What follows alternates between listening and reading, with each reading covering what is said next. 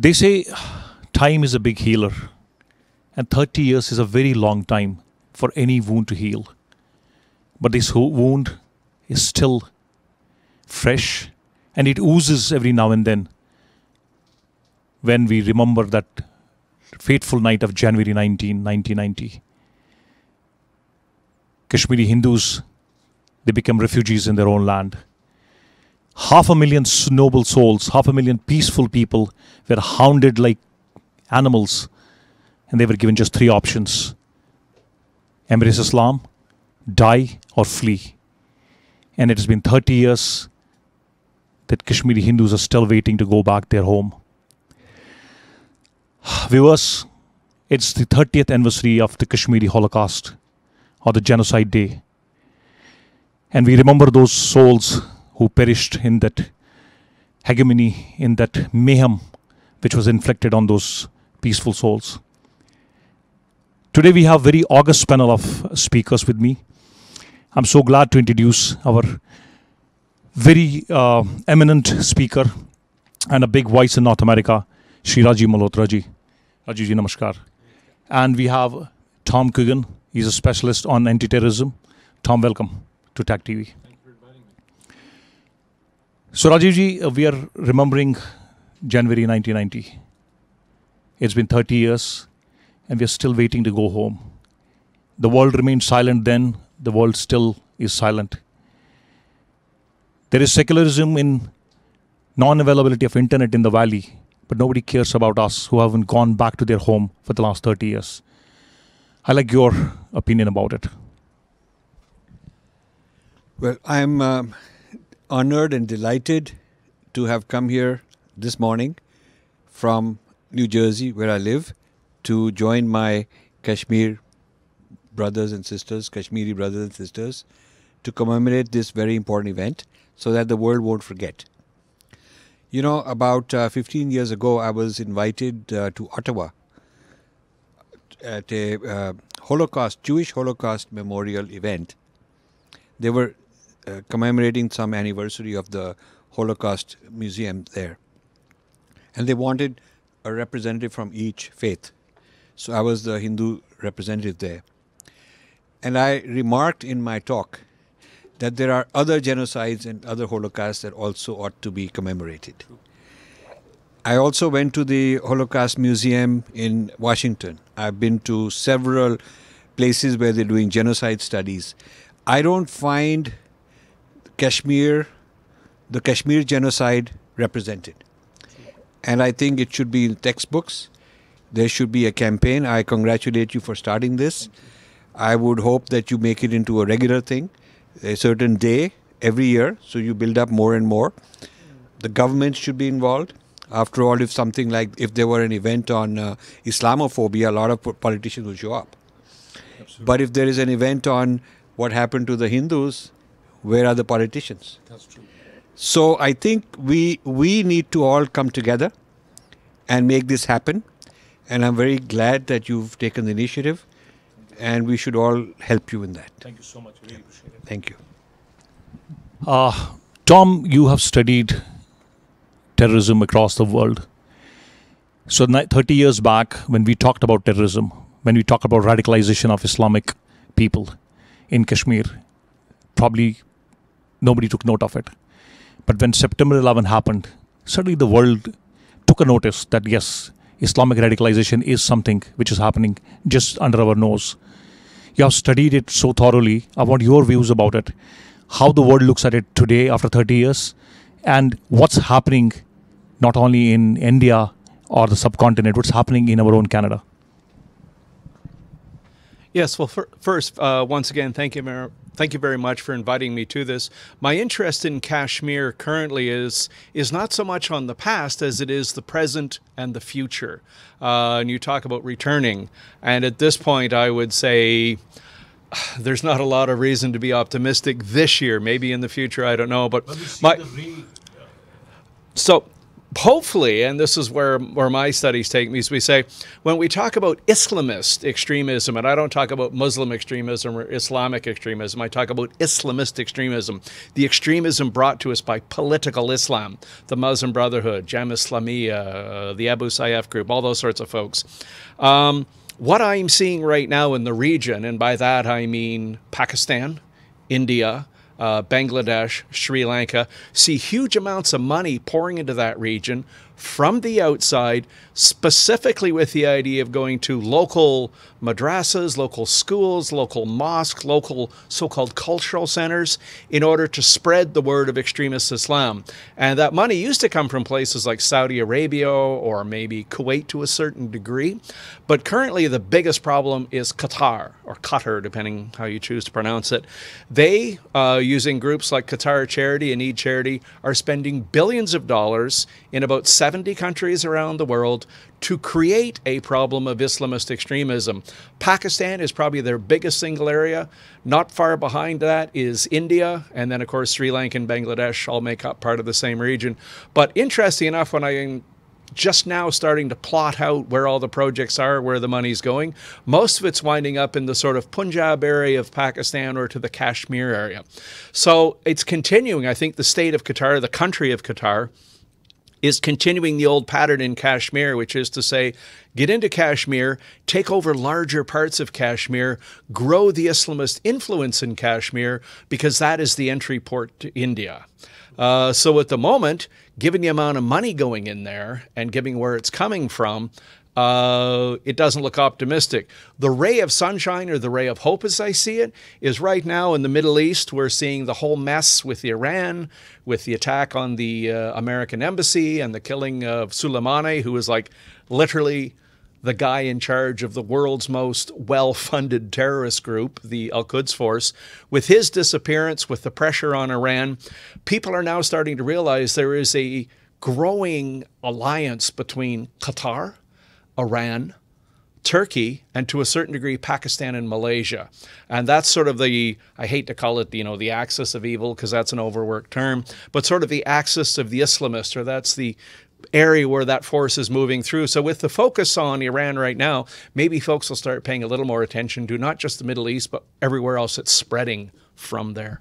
I want you to tell me a little bit more. You have been studying, you know, the terrorism across the world and you have many books about it.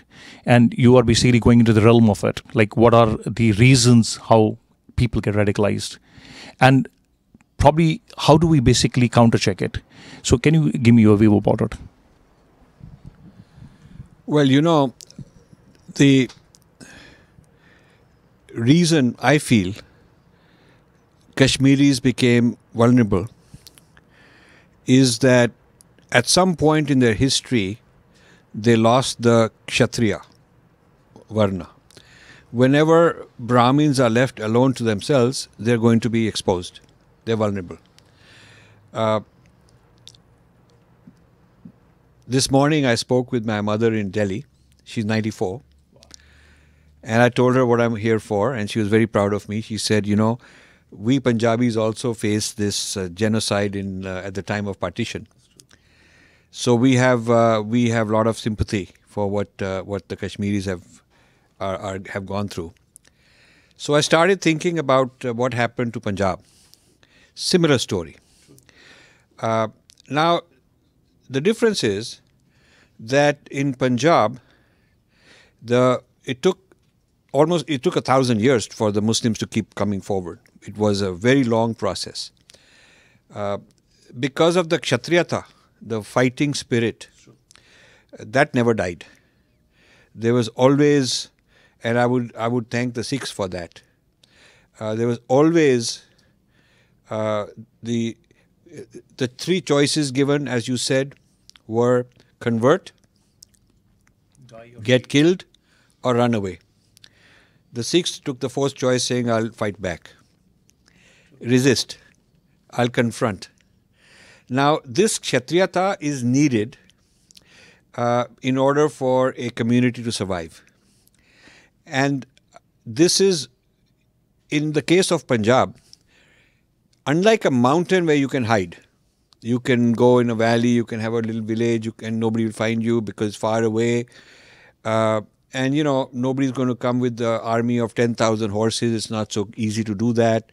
Or an army of th- a few thousand elephants. It's not easy to do that.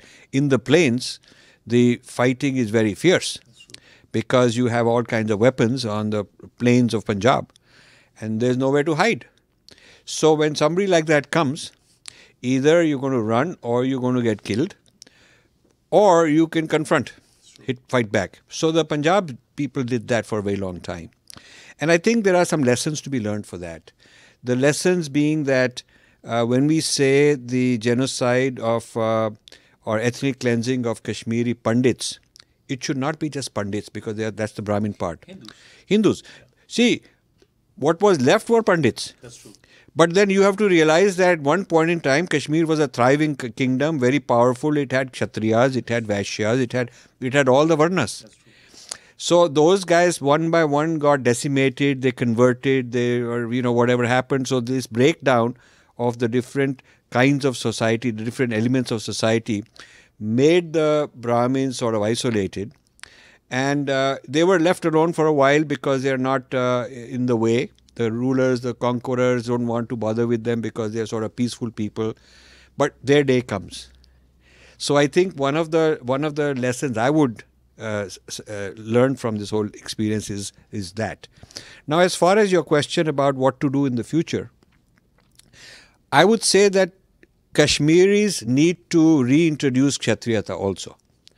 Uh, Kashmiris now need to grow Kshatriyata within their society. I mean, they are great learn, uh, learned people, poets, singers, authors, spiritual people. Kashmir, the home of Shaivism. I'm a Shaivite, so I, I, I have a lot of respect for that. Uh, Buddhism, a lot of the Tibetan Buddhism went for there. So the intellectual learning and the spiritual learning is, of course, always been great. But the Kshatriyata is needed in this age because this is the age when you are going to be fighting nasty people. And you're not going to fight them like gentlemen and try to win an argument with them or debate. You have to fight like they, at their level. You have to do that. So I think Kashmir needs to create a kshatriyata within themselves and collaborate with other uh, uh, you know states, other regions to, to do this, to take back your homeland. You need to start with this Article 370 uh, gone. You need to start a movement to create uh, institutions which Hindus can set up in Kashmir, uh, buying land, setting up institutions to claim this, taking back the home, taking back the homeland. And the population of uh, Kashmiri Hindus in exile is small, uh, but you need to get many other non Kashmiris also. So I would say that the way you fight is not in isolation as yourself, but you need to rope in, collaborate with many other people, and then and then do it. As far as the bigger war is concerned against uh, Islamic terrorism, uh, you know, Islam ultimately needs a reform movement uh, in, within itself, which is not an easy thing to do. The reform movement in European uh, Christianity took 200 years of infighting. And you'll need a lot of uh, Muslims determined to create this kind of an internal reformation. What outsiders can do is facilitate that, educate some people, you know, uh, seed that uh, which I, I, maybe some attempts are being made, but not enough, clearly. And meanwhile, I think uh, the world has to be very strong and able to speak out and call this whole bluff of double talk. A uh, lot of Muslim friends I have, I like them on a personal level, they're wonderful people. But you know, when the subject comes up, they will close ranks and uh, go back into their Islamic kind of a dialogue in that in that mode of thinking. Uh, I would like to, and, and I always like to keep pushing until you know the truth comes out. Uh, but Hindus are afraid to go there. We are afraid of controversy. We just want to pretend like everything is okay. Unless we are courageous, willing to stick our neck out, and willing to, uh, you know, uh, uh, go up out and out of our way, out of our comfort zone, into the Kurukshetra, and fight the good fight, uh, I think we can't really change it. We can't change just being passive, sitting at home and expecting that things will just change in, at the other end, they'll change their mind. We have to fight for ourselves. Uh, good, uh, you know, you look at uh, how uh, Punjab did for a very long time. I mean, unfortunately, now there are some serious problems with decadence of society within Punjab recently. But for a long time, it is the bravery of the Sikhs actually, the fighting spirit that you know we're not uh, we're not going to we're going to make some uh, co co uh, some compromises and accept some of the Muslim ways, which they did, but we're going to hold our ground, and we are we are who we are, and, and I think this is a this is an amazing story in, in all of India. Uh, so I, I, I, this is a time for uh, hard power. We talk about soft power I have been a great student and a proponent of soft power for a long time. All the yoga and all these things, I write a lot about it. This is fantastic, and we should do that. That's very important for consumption, for our own people to have a narrative and understand who we are. But when it comes to international relations and all that, we, you know, people respect even your soft power once you have hard power. So if you are a tough guy and if you have uh, strength and you're not going to put up with nonsense, people respect you. So we we have to India has to train its Ministry of External Affairs. They have to re-educate all of these guys. Uh, the gurus have to get involved in this. The gurus cannot just be otherworldly. Uh, we are in, we are looking for moksha and we don't want to get involved in all that. Uh, the gurus have to play a role. We have a whole history of gurus taking a tough stand, being very strong and helping the uh, the kshatriyas. So Kshatriyas should be encouraged. They should not be left alone. They should not be considered, you know, you're too too controversial. We don't want anything to do with you. We uh, the whole community has to support these people, and only as a multi-varna ecosystem where the Vaishyas bring the wealth, the Kshatriyas are the political leaders and fighters, and uh, uh, the Brahmins are the intellectual leaders. Only when we have all, and the Shudras are playing a role as doing their services only when you have a multi-varna ecosystem which is balanced can you fight the other guys. Ajay, thank you so much. This actually reminds me of the famous Vedic, uh, you know, prose. It says, uh, "Ahimsa paramo dharma." That's all what we have learned. But the whole couplet says, "Ahimsa paramo dharma, dharma hinsa tataivacha," which means that you know we need to basically, if, if the righteousness is the principality, if the principles are in danger, violence should be there. So we need to basically learn that Parshuram was a Brahmin, but when it when there was a call, he took up weapons and basically slayed the uh, people who were basically creating terror at that time. Thank you, Rajivji, so much. Uh, Tom, uh, I got a small question for you. Uh, what's happening in our own backyard in Canada when it comes to terrorism? We have seen terrorists being paid big payouts, and we are seeing uh, terrorists basically filing lawsuits against themselves and the uh, whole call about Islamophobia in Canada. What are your views about it? Thanks. There was a number of interesting uh, things I'd like to address. You said as well. First thing here in Canada, probably worth remembering a little anecdote. The first ever Muslim Brotherhood guy to come to Canada to set up an organization and start pushing political Islam is 1958. Uh, it's only the late 1980s that actually gained momentum.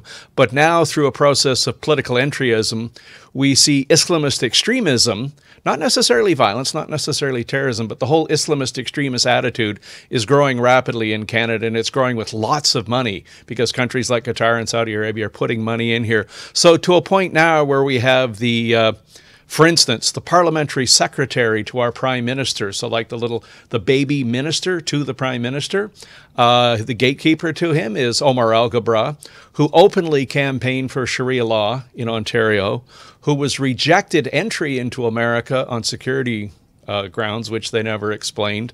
Uh, and before he was elected, he openly said that Hamas and Hezbollah were not terrorist groups. So that gives you an idea of just how deeply into our political system a number of these folks have uh, infiltrated themselves. And it a lot of people say, oh no, you know, we just have to deal with the violent ones. You know, we're not interested in nonviolent extremism. It's like, no, no, you have to be interested in nonviolent extremism because they are preaching, if that's the right term, a supremacist ideology. Uh, and that ideology will eventually confront you and demand that you submit, which is why Tahir Gora and I called our book Submission The Danger of Political Islam to Canada. When we talk about terrorism, and you talked earlier about uh, the West didn't wake up till 9 11, and you're right, they shouldn't have. I testified to the Senate in Canada in 1998 about terrorism. We had the Air India attack in 1984, there was the World, World Trade Center attack in 1993 nobody learned anything, or very few people learned anything, and most of the politicians were asleep until 9 11. Since then, the biggest single problem we've got is we have spent billions of dollars, put huge amounts of effort into tactical counterterrorism. So when there's a guy with a bomb or a gun or some gas or something, we're getting a lot better at chasing that guy down the back alley. We're a lot better at catching the guns coming across the border, that sort of thing. But at the strategic level, we're doing virtually nothing. And the struggle terrorism itself is a tactic. It's a tactic used by a group of people who are angry and want to express themselves through violence. And they're doing that because they have an ideology. That ideology gives them an objective. That objective gives them a strategy, and that strategy leads to the tactics. So we're busy fighting the foot soldiers down here, and we're fairly good at it. But very few people in the West are willing to actually stand up and say the actual problem is the ideology. It is the ideology of the Muslim Brotherhood. It is the ideology of Jamaat Islamiyah. It is the ideology of ISIS, Abu Sayyaf Group, Moro Islamic Liberation Front, etc., etc., etc. And here in Canada now, we're not even allowed to talk about it anymore due to the M103 anti-Islamophobia motion, which they're trying to change to say if you're critical of Islamic politics, that's Islamophobia. And it's like, come on, guys, you know, we actually have to be able to talk about this problem, which is why freedom of speech is important. Also, on this issue of Islamic reform, uh, you're mentioning this. It is kind of occurring. There are a lot of people pushing for it. But right now, for instance, here in Canada, the government is completely captured by the voice of political Islam, which is to say the Brotherhood, Jamaat Islamiyah, all those sort of front groups they have here in Canada. And the government almost never listens to the reformist or the humanist or the secularist within the Islamic uh, movement. So until the government in Canada and America and Sweden and Belgium and France and Germany and Norway, until they change, here in the West, we're not going to see much of a difference. Thank you, gentlemen, for your views. Uh, I would like to tell everybody that today we are going to have an event at the Indo Samurai Center in Toronto to just remember the Holocaust of Kashmiri Hindus, which happened 30 years back. And I request all the viewers to come and join us.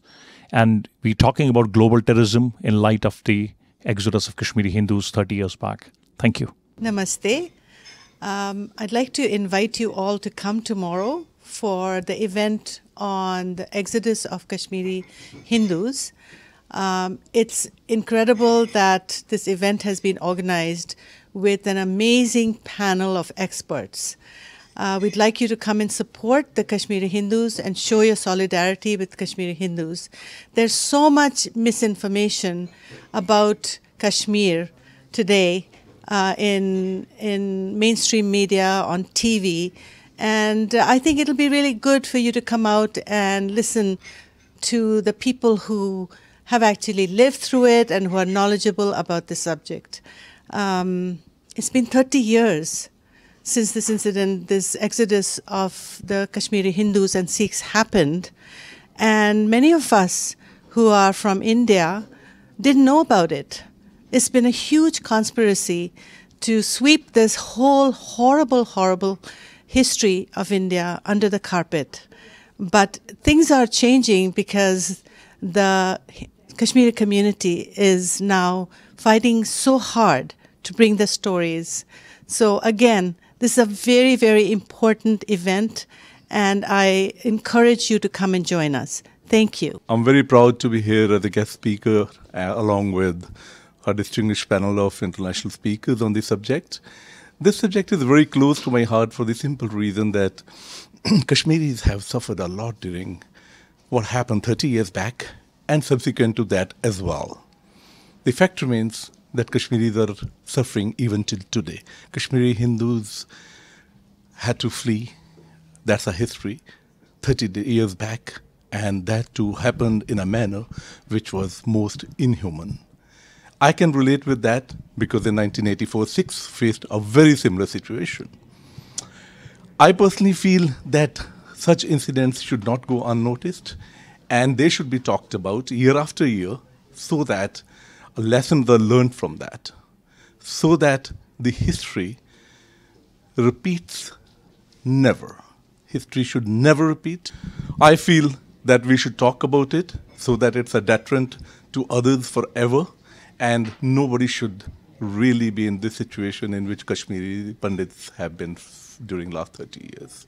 Um, I would request that more and more people should come and join so that we talk about this subject and we talk so that the corrective action can be taken for future. Thank you. Thank you very much for giving me the opportunity to speak on the uh, very disheartening and a very sad event in the history of the subcontinent, which is the exodus of the Kashmiri Pandits uh, 30 years from today. It is a really earth shaking and a groundbreaking kind of moment for all of us that citizens of the country has become stateless in their own state.